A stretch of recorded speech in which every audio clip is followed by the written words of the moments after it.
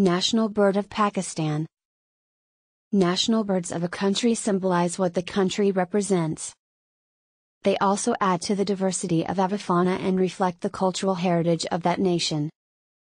Choosing a national bird is a crucial process since it becomes the country's symbol. Birds are chosen depending on uniqueness, historical importance, and abundance. The chukar is the national bird of Pakistan. Six its native habitat ranges are Pakistan, Kashmir, India, and Afghanistan. It is closely related and similar to its western equivalent, the red-legged partridge, Alectoris rufa.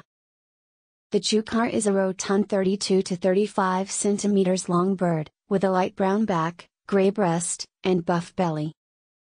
The face is white with a black gorget. It has rufous streaked flanks and red legs. 11 When disturbed, it prefers to run rather than fly but if necessary it flies a short distance on rounded wings. Chukars prefer rocky, steep, and open hillsides. The chukar is a resident breeder in dry, open, and often hilly country.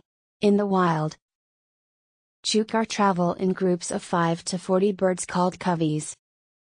It nests in a scantily lined ground scrape laying 8 to 20 eggs.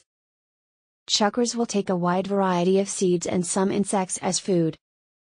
When in captivity, they will lay one egg per day throughout the breeding season if the eggs are collected daily. For hunters, chukar is a very challenging bird because of its surgical upward flights and sudden disappearances in the bushes. Due to Pakistan's diverse weather and varied land is home to some of the rare and exclusive birds in the world. Its wetlands and lakes attract millions of migratory birds from across the globe, especially Siberia each year which besides its native birds in their natural habitat in the jungles and mountains. A lot of bird sanctuaries have been set up by the government that allows the native and migratory birds to flourish.